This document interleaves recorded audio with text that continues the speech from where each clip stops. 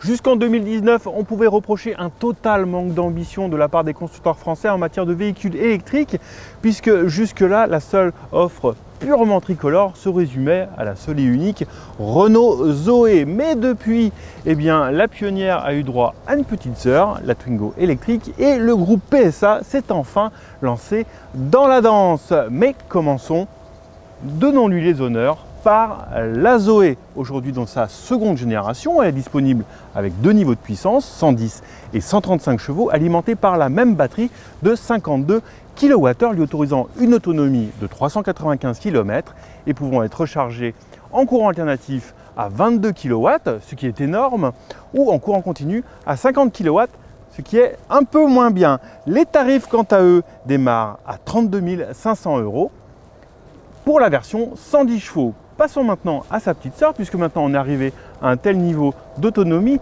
qu'elle a droit à une petite sœur sans le risque qu'elle ne soit cannibalisée.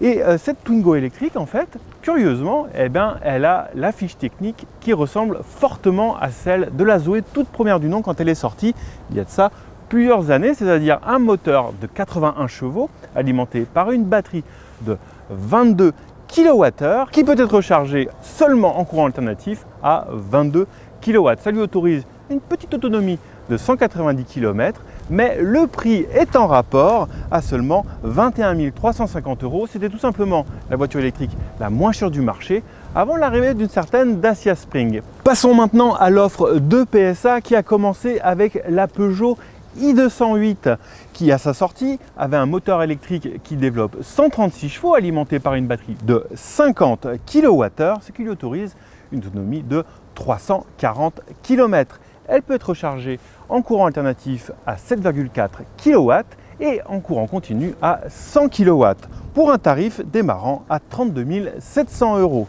Elle a vite été rejointe par la Peugeot i2008 qui a exactement le même moteur et la même batterie, mais comme il est un peu plus haut, un peu plus long, un peu plus lourd, son autonomie est de 310 km et lui s'échange contre 37 700 euros.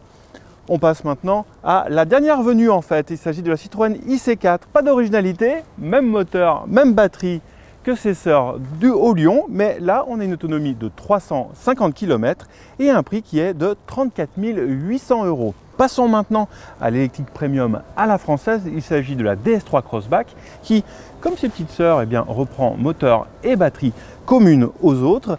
L'autonomie est alors de 320 km et les prix démarrent à 37 000 euros.